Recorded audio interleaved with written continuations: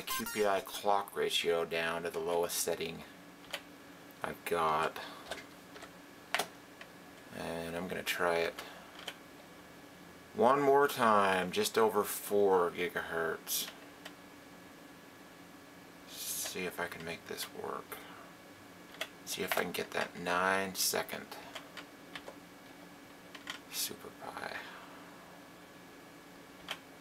So I got my memory at 1560, performance enhanced at standard, voltage.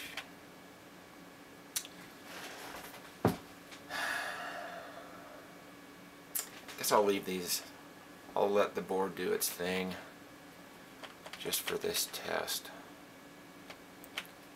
See what happens. Now I do not know if this is going to boot or not. I'm about ready to find out. So this is at 4.09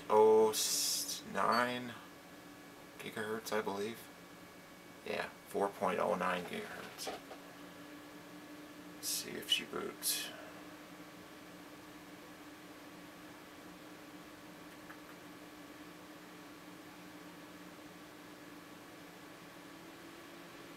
Yep. She's gonna boot.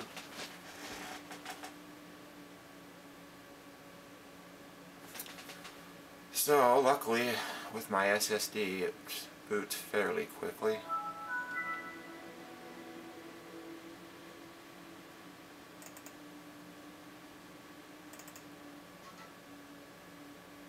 It's the wrong one. Okay, so let's try this out at 4.09 gigahertz.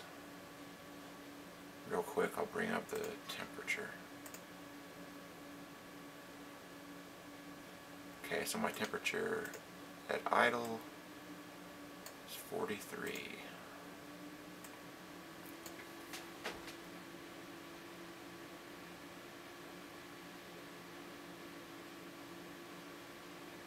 I just try it one more time. Yep, still a 10 second.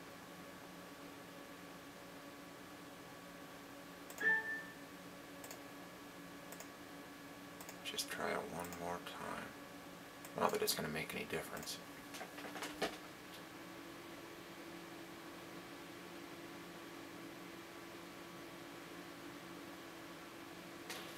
Yep.